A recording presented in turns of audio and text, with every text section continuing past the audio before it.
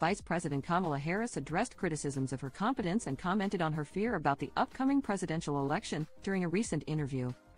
Harris sat down with CNN to address various topics, including her competency in her position, America's racist past, the importance of abortion, and the potential danger of a Donald Trump win in 2024. During the interview, Harris acknowledged the criticism over her job, stating it's unfortunate that some deny the fact that America has a racist past. Most women who have risen in their profession, who are leaders in their profession, have similar experiences, Harris said of being doubted. I was the first woman to be elected district attorney, I was the first woman to be elected attorney general of the state of California, and I'm the first woman to be vice president. I love my job. Harris also criticized Trump for his stance on women's rights, specifically highlighting his pride in restricting access to abortions.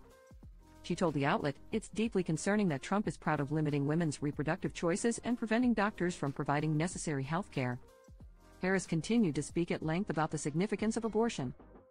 The Supreme Court took a constitutional right from the people of America, from the women of America, and the United States Congress has the power and ability to put that right back in place, to put back in place the protections of Roe v.